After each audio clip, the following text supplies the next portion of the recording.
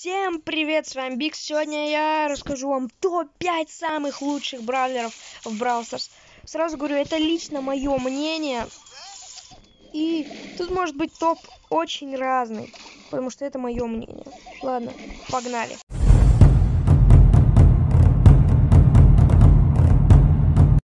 Ну а пятое место я хочу отдать Нити. Да, Нити.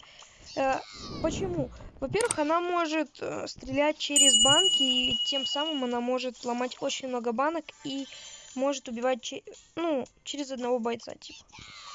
Это очень помогает в этом битве. Минус, конечно, то, что маленькая, от, ну, атака маленькая, но урон у нее сильный. Нита спавнит медведя, который может убивать их. Это он и делает и он будет гнаться за своим противником, тем, тем самым мы можем стоять за ним и прятаться. Не знаю почему, но Нита занимает топ-пятое место. Переходим к следующему. место я отдаю Беа, этой пчелке. Рассказываю почему. Минус сразу же в том, что тыка одна, но плюс очень большой урон. Ульта у нее очень помогает, когда она играет против многих игроков. Она станет, ну как станет? Она замедляет своих противников и не дает им почти ходить. За это время Биа может убить хорошо. Yeah, Когда людей. попадет один раз противника, заряжает один супер атаку. Я называю его так. И он наносит намного больше урона. Тыдыщ. Сразу 3 300. За одну тыка это с одной банкой. Био очень клевый боец, всем советую. Третье место я даю Джесси. Джесси очень хороший боец, так как может ломать сразу много банок, потому что у нее отрикошечивает атака. Это очень помогает, когда ты борешься, ну, сражаешься с пятью или шестью этими бравлерами. Ну или когда ты просто ломаешь банки. Ульта Джесси ставит турельку, которая наносит урон. Кстати, хороший такой урон. Э, но это плюс то, что она может отрикошеть. Но минус... Да, можно считать, минусов нету. Но вы спросите тогда, почему я поставил ее на этом месте. как Джесси можно спокойно закрысить и все.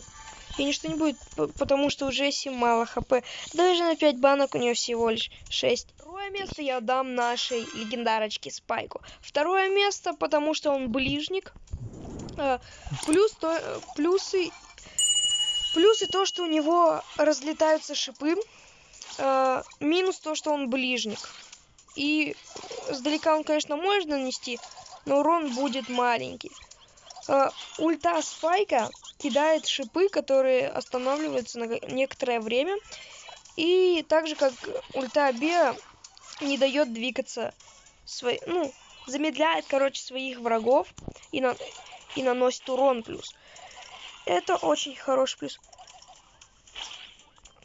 Ладно, переходим к следующему бойцу. Первое место, по моему мнению, заслуживает Бель.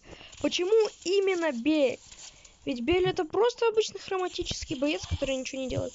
Плюс и то, что у него очень длинная атака. Это первое. Второе, у нее атака передается. Это делать так же, как Джесси.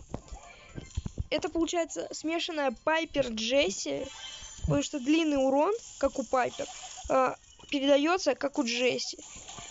Это сразу хорошо.